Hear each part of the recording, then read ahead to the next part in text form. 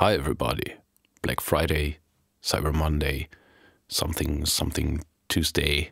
The violet envelope shaper is now 75% off for um, high resolution displays and retina displays. And that's because um, this is what it looked like. And of course, that was not intended on those displays. There was a factor in the code that shouldn't have been there. So I changed it, and now it looks like this. And while doing so, I discovered that this scaling, no scaling um, option didn't work in all the plugins, so I fixed that too. But now let's get to the new plugin, and this is the Black Denoiser Series 2. And of course, that works as most of the denoisers work. So um, let's see if I don't have this on and I play back a section where the singer is not singing. Can we see that here? This range. Um, we would hear something like this.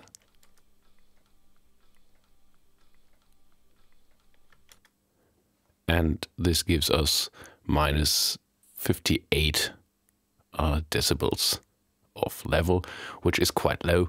Um, but no matter what, uh, we can denoise this track. So um, we press detect and detect a sample where there is no audio happening that we want to have.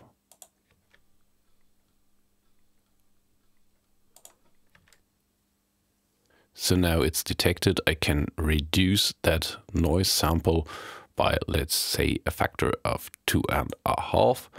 I reset this meter here and we can see, well, we've won about 20 decibels of um, noise floor, while um, the audio itself seems untouched. And take a look aside. So without it. And take a look aside. And with the denoiser on. And take a look aside. So we just reduce the noise floor. In some cases, denoisers can audibly affect the high frequencies. So um, we can preserve the highs uh, with this filter. So we can set the frequency and we can set the gain. So if we boost, we um, preserve highs. But don't get it wrong, we're not boosting the highs in the audio path, we're just preserving them from being affected by the denoiser. The denoiser needs to buffer some audio for um, for denoising it, and um, that leads to latency issues. So um, this processing thing is um, only on playback by default. So if you're recording or if you're on stop mode um, while you're monitoring a track, maybe the denoising doesn't happen, so you're um, live with your audio, and only on playback um, the plugin delay compensation works, and so it's in sync with the other tracks, but it actually introduces some delay. Of course, this scaling thing works here, and um, we can type in some values as we know it from the other plugins, like this. And maybe a word about this. People ask me um, if I could make it um, so you type in a number and hit return, and that will set this value. And there's a reason that this is not happening. If we wanted to have this, the plugin would have to take over the complete keyboard input. So all your Reaper shortcuts and stuff wouldn't work as long as you have the plugin visible. And most of the users have their return key for something in, in, in the shortcuts section. So I went for this little green box to click. And of course, as all the plugins in the um, Series 2 um, plugin series, you can um, open multiple instances and just um, sync with um, Control on Mac or Windows key on Windows uh, the plugins. So if you hold Control on a Mac, which is my computer, and turn a knob, these will turn together even with an offset, and you can even detect the um, noise floor together for the plugins, which is quite handy, I think.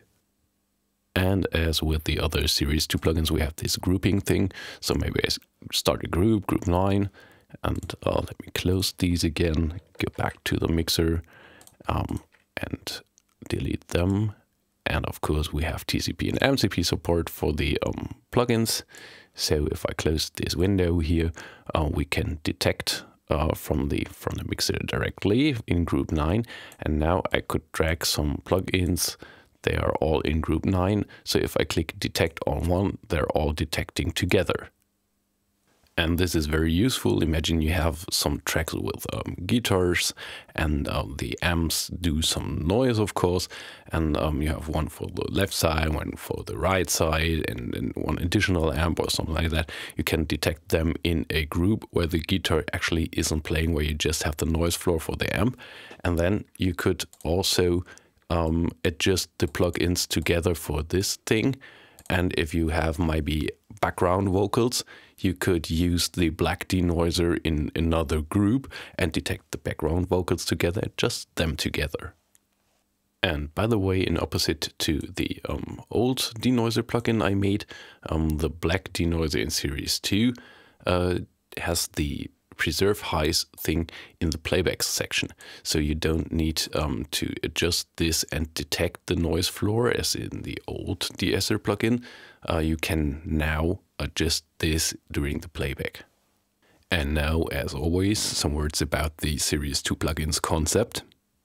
In opposite to the old um, plugins I made, uh, the Series 2 plugins always show um, their parameters in a meaningful order. So we have the mode, which is now in playback and not in detection. We have the noise reduction, the um, high um, preserve high things, uh, the bypass, and um, as always, the bypass, the wet and the delta thing from the um, plug-in window here above.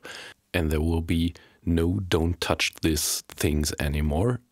So all these parameters are not only automatable, but they can also be controlled from a controller. So I have a controller here and I can control all these things, even the detect thing and the bypass thing from the controller. And I always try to do them in a order so that you don't have to map your controller yourself. Uh, it will be a senseful order out of the box. So that's it for today. Have fun with the plugins and bye bye.